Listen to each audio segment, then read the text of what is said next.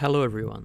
Today we are going to demonstrate levitation due to the interaction between permanent magnets and diamagnetic materials. In terms of magnetic properties, materials are classified into three categories. Ferromagnetic, paramagnetic, and diamagnetic. Ferromagnetic are materials that have a high tendency to align their magnetic dipoles with external magnetic fields Due to this property, they form a path for the magnetic fields and are attracted to their source. Paramagnetic materials also have a tendency to align dipoles with external magnetic fields, but this property is considerably weaker than in ferromagnetic materials. They are weakly attracted to magnetic fields. On the other hand, all materials also have a property called diamagnetism. It is a tendency to counter the direction of external magnetic fields. Due to the electronic configuration of atoms, some materials do not have magnetic dipoles.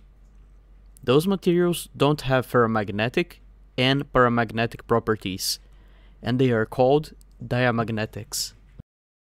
If ferromagnetic and paramagnetic materials create a path for magnetic fields, diamagnetic materials create regions that the magnetic field tries to avoid.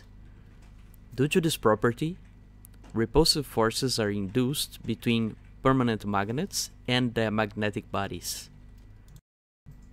This is today's experimental setup. It is an array of permanent magnets with alternating polarization. This arrange forms a strong magnetic field near the permanent magnets. If we place a very thin graphite sheet over this magnetic field, due to the magnetic nature of the graphite, it floats at a very small distance from the permanent magnets. These magnetic forces are very small and cannot lift a heavy load.